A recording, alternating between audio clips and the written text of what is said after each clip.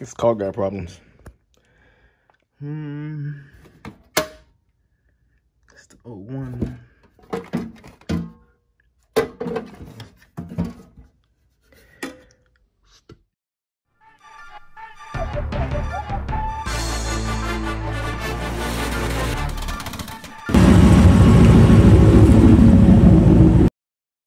All right, guys. So next step in your turbo journey, whether it's you know you just did a custom setup like I did, or you got a car that was already boosted. Um, after a while, or it may even be in your plans, you realize you want to turn up the boost. Um, so there's a couple ways you can do that. You can either upgrade your wastegate spring. Uh, in my wastegate particular, I have a, a 10 pound spring in there, which means that's the minimum amount of boost that I can run or you can go with the boost controller. So now with boost controllers, you have two options. You have, of course, the manual boost controller and the electronic boost controller. The manual boost controllers have been around for a long time and are really pretty simple. In the background of some of my videos, you may have heard Trey kind of refer to those as uh, the turn and pray style. And what he means by that is there's really no way to know how much boost you're increasing with those valves or with those boost controllers. Uh, you basically have to turn the dial, take it for a drive, hit max boost, turn the dial again, take it for another drive and see how much it increases. Uh, whereas with an electronic boost controller, you can be a lot more precise, a lot more accurate.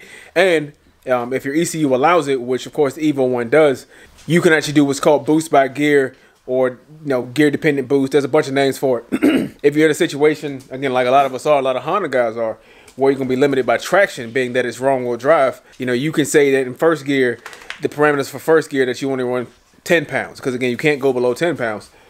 But in second gear, I want to be able to run 12 pounds. Third gear, I want to be able to run 15 or 20, and so on and so forth. You can actually program that, and the ECU will control that. An example of an electronic boost controller. Um, this one came from Tier 1 Motorsports from Amazon. Of course, check the link in the description. And this right here is a Mac valve. This is a three a three port boost controller. Um, this particular kit came with the lines and the fittings that you need. And if you look this up on Amazon, this kit costs about 60 bucks. You can get just the valve itself for like 30 and you may be a little hesitant because manual because even manual boost controllers, which are like the dumbed down version of this, cost more than that.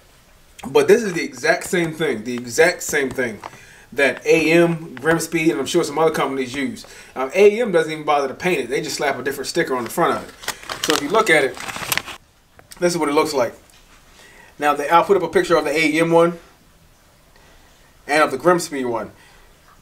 They literally just take this device, rebrand it, and sell it to you for, for you know two, you know almost three times the price.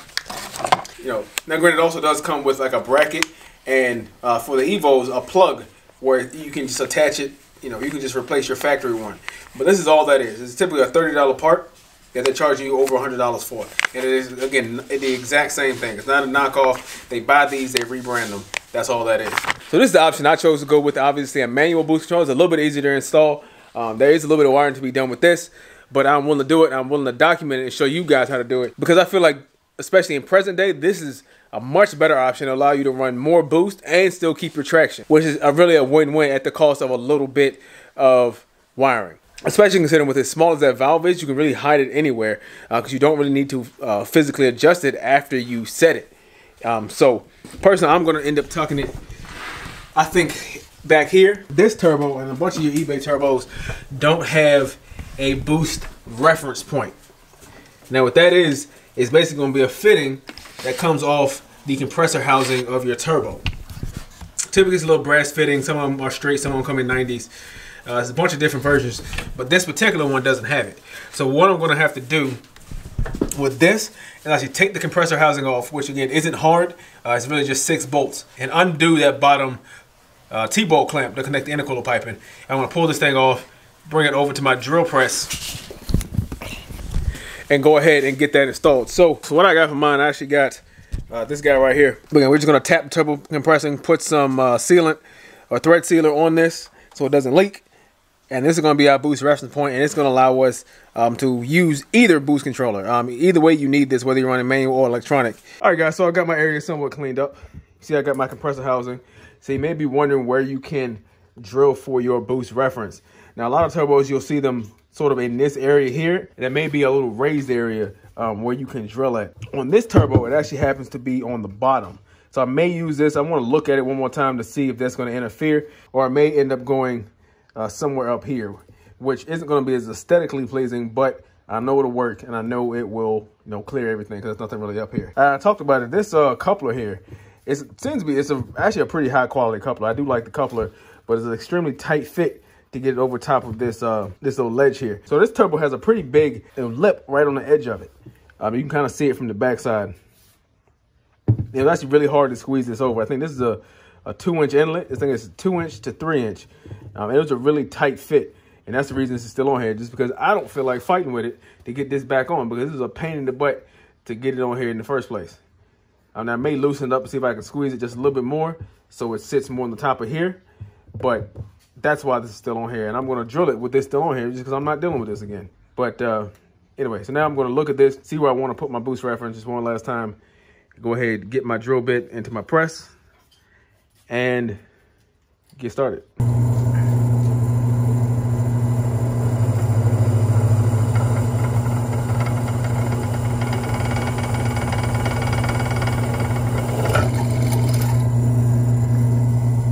right, so I got my bigger bit. Right, guys, so that's it. Got me a clean hole. Of course, this is aluminum, so it does drill pretty easily. Now, of course, I just want to try, but I think that will work. I can almost, it's almost tight enough where I can thread it in there like that. So I'm gonna get my tap and try to tap this and then see if I can thread this piece in. Got my tap and die set. And these tap and die sets, most of these come with handles, um, but you can use these in a drill because if it goes in at an angle or crooked, you're going to cross thread it and you're not going to get a good seal. So it's really up to you on whether or not you want to risk it. So of course, it'll say on the bit what size tap you need.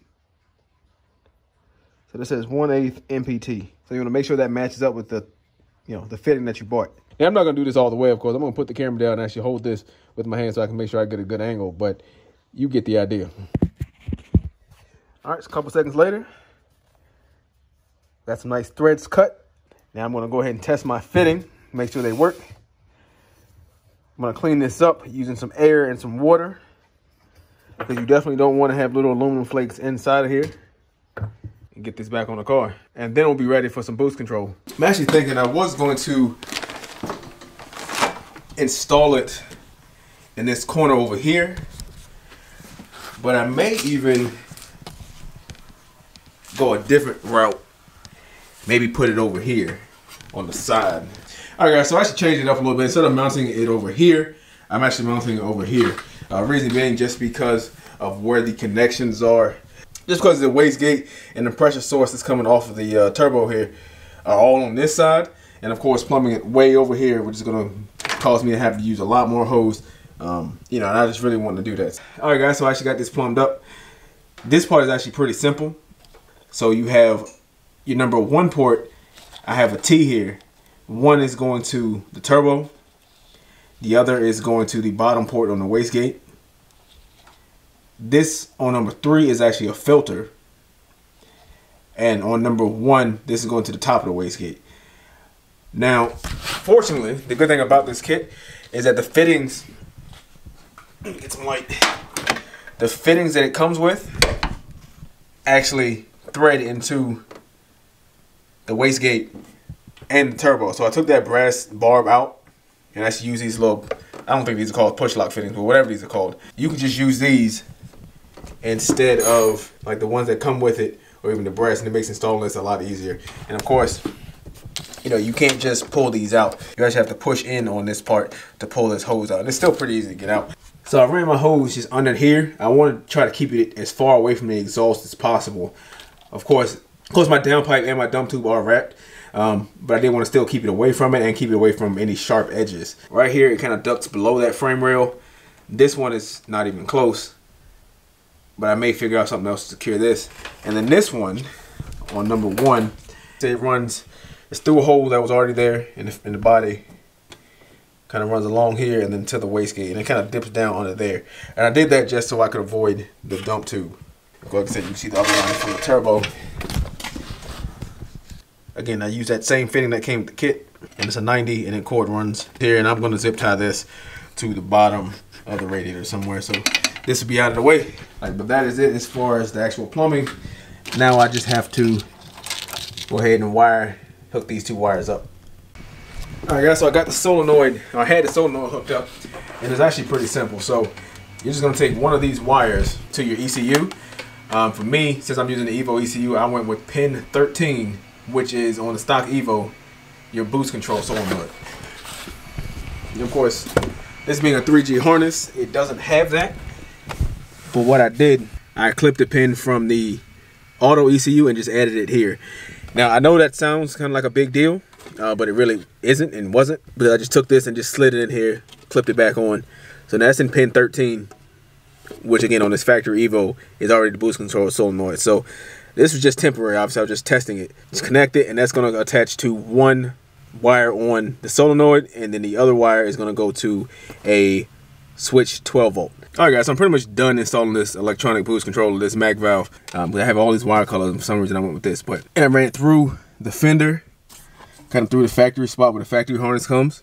And of course, there's slack here, so I can actually tuck this away when I'm done. And this actually goes to, this pink wire actually goes to one of the uh, wires on the Mac valve. And then this red one is just going to be a constant uh, 12 volt and I'm just gonna run this to the fuse box so that it cuts on when the car cuts on, much like you know the gauges and whatnot. But that's really all to it. You have to add that to pin 13. I'm going to EvoScan. On the bottom right hand corner, there's a button that says actuators. I guess I can show you guys this too. Might put it up on the screen. This actuators. You click on that and you click on wastegate solenoid um, to activate it, and you should be able to hear it click if it's working and you just have to get with your tuner to you know tune boost by gear. So you know now of course the Mac valve electronic boost controller whatever you want to call it, it's not magic it's you can still only run whatever base spring is in your wastegate. So like I said, in this one I have a 10 pound spring, so that's gonna be my lowest. Um, I'm thinking just right off the bat, it'll be 10 pounds in first gear, second gear will be 15, third gear up will be 20. So that's what I'm gonna get with my tuner about. Of course, I still have a little bit of work to do on this. I'm just cleaning some stuff up, mainly on the inside to get some of my wires right because I've been kind of putting it off because I really don't like doing wiring. Uh, so like this left side headlight doesn't work and I know why. Um, and just other few things. But mechanically, the car runs. I actually got to bleed the clutch last night. The Spec 2 feels pretty good. Definitely a lot, uh, definitely noticeably stiffer than the stock one. Like, so I'm not going to be able to put the driving clip in this video, but just be on the lookout. It should be coming soon. I want to thank you guys for watching my video. Make sure you hit that thumbs up button, that subscribe button if you haven't already, and have a great day.